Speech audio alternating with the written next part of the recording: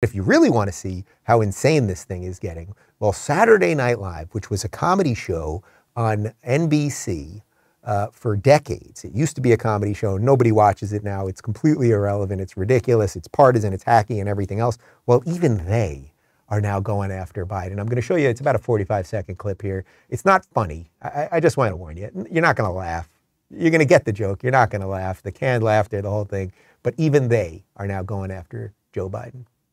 This week, President Biden pardoned thousands of convicted marijuana users, and it feels like maybe he celebrated with them a little because yesterday, Biden gave a speech at a car factory and opened with this.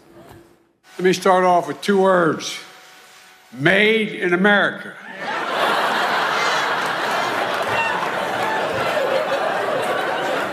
Wow. Well, let me respond with two words Jesus H. Christ.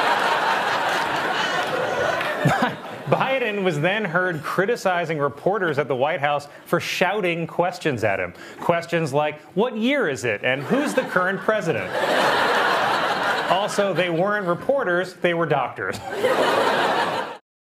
All right, whatever. They got about 40 writers that put this thing together. I got these two schmoes. No offense, guys.